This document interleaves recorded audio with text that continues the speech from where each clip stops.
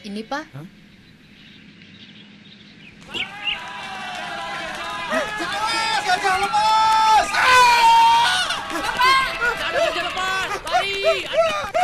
Untung dia punya tulang yang kuat. Dia minum Protekal Solid tiap hari. Multivitamin penting untuk melindungi kesehatan tulang dan gigi keluarga.